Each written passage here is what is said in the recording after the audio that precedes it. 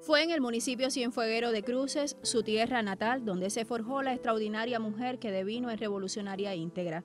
A Melba Hernández Rodríguez del Rey se le recuerda como una aguerrida luchadora de las causas justas y a la vez esa noble heroína cuya sencillez le hizo auténtica en varias etapas de la historia a las que sobrevivió.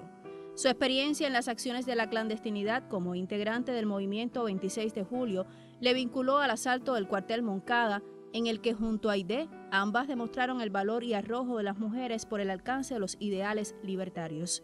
Ser partícipe de ese suceso contribuyó además a la recopilación de datos para luego difundirlos en el alegato de autodefensa La historia me absolverá de Fidel Castro.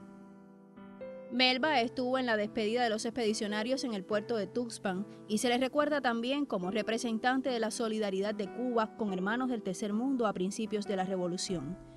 Ella vivió muchos años de transformaciones sociales y económicas del país.